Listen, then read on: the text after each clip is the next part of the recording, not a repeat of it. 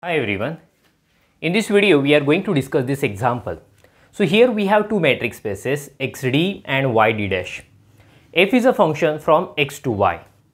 We have to prove that function f is continuous on x if and only if f inverse b interior is subset of f inverse b whole interior and this is true for each subset b of y. Getting? So here if and only if condition so that's why we will assume one part first we will assume f is continuous first and we will prove this one and after that we will go for its converse part. So let us start. I am going to consider, let me write here, assume that f from x to y is a continuous function. Okay, so it is a continuous function that means it is continuous at each and every point of this domain x. Okay, and what we have to prove, let me write to prove that f inverse b interior is subset of f inverse b whole interior and this is true for each subset b of y. So what will I do? I will take any arbitrary subset b of y and for that we will prove this relation. Okay, so let us take let b subset of y. So they, then to prove that, let me write. What we have to prove? We have to prove this relation that is f inverse b interior subset of f inverse b whole interior. Okay, so let me draw the diagram simultaneously so concept will be clear to you. This is a metric space XD we have. This is another metric space YD dash we have. We have a function f from x to y. We are considering any subset b of y and for that set b we have to prove this relation. We have to prove first set is subset of second. So in mathematics we have a very common technique to prove this thing. We take any arbitrary point from the first set and we prove that it is in second set. Then we say the first set is subset of second. So let us take one point from this set. So let A belongs to F inverse B interior. Okay. So I have taken any arbitrary point A. Let me show in this diagram. So here we have considered B. So inside it you will have B interior. Interior of uh, B is B interior. If you take its inverse, that means F inverse. So we will have some set here. So we are calling it as F inverse B interior. So we have to prove that it is subset of this relation we have to prove. So I am taking one point from this set A. Okay, let us take F on this side. Then what will you have? If you shift f inverse on this side, we will have f of a belongs to b interior. So let me show this same thing in the diagram. A we have, if you operate f, we will have a point here, f of a belongs to b interior. Actually, b interior means set of all interior points of b. f of a belongs to b interior, it means f of a is an interior point of b it is an interior point of B. So when we say it is an interior point, if it is possible to draw a ball around this point which entirely lies inside set B, then we say it is an interior point. So f of a is an interior point, so we can draw ball around f of a which is subset of B. So therefore we write, let me write here, therefore there exists some radius r greater than 0 but see here I will take epsilon. Since we have a continuous function so epsilon will be useful if I take here. So there exists instead of r I am writing epsilon greater than 0 such that such that ball around this f of a with radius epsilon. F of a epsilon is subset of it is subset of b. Getting? It is subset of in this diagram I have shown subset of B. This is so much important thing, so I am calling it as 1. So we are assume we have already assumed one part that is function is continuous. So that thing also we are going to use now. We have we have f is continuous on x. It means function is continuous at each and every point of x. So therefore it is continuous at point A also since A is also one of them so therefore, f is continuous at A. So we are familiar with epsilon delta definition of continuous function. That definition I am going to use. So that definition says for given epsilon greater than 0, there exists delta greater than 0. But the epsilon already we have got. So I am going to mention for above epsilon greater than 0. Let me write here for above epsilon greater than 0, there exist delta greater than 0 such that so we have a definition d of xa less than delta implies d dash of f of x f of a less than epsilon.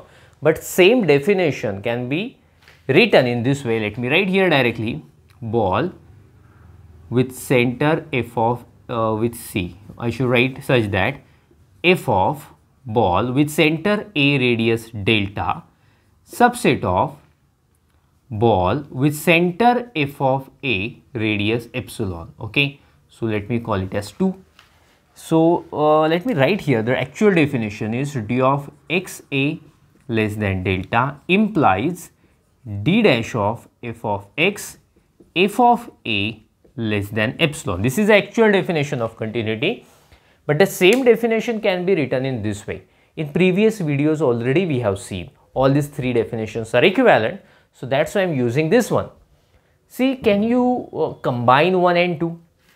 See here the left hand side ball with center f of a uh, radius epsilon. The same thing we have got in right hand side of 2. So let us combine. So that means A, A subset of B and B subset of C. Then we can say A subset of C. So that relation I am going to use.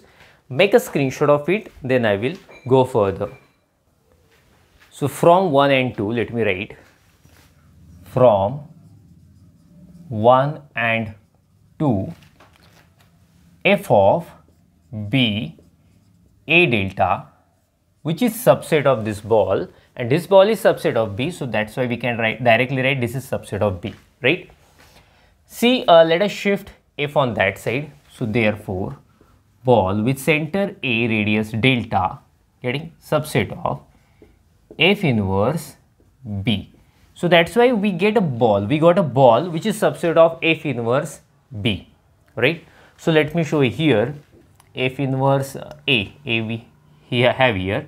So we got a ball around A with radius delta which is subset of F inverse B. So we can declare that A is an interior point. So this is a definition of interior point. So therefore let me mention A is an interior point of f inverse b. The same thing we can write in this way. A belongs to f inverse b interior. Okay. So, do you remember we had taken point A from this set f inverse b interior and finally we proved A is in that set.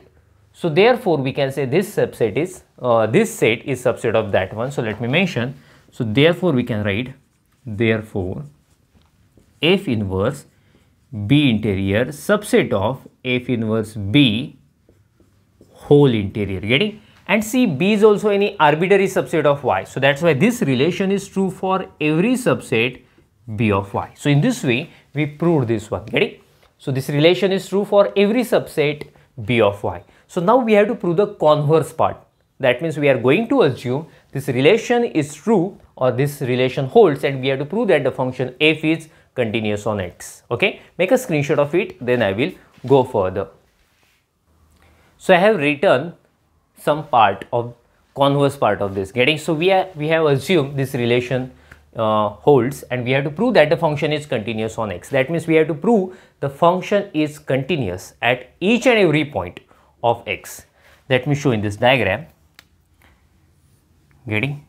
Yes so this is metric space xd and this is another metric space yd dash. We have a function f from x to y. So we have this relation holds and we have to prove that the function is continuous on each and every point of x so there is one way that we can take any arbitrary point and we can show function f is continuous at that point so a is any arbitrary so that's why it is continuous each and every point of x so we have epsilon delta definition to prove that thing as well as we have a sequential criteria also. That means if any sequence xn converges to x, then f of xn converges to f of a. Okay, then, then also we can say the function f is continuous at A.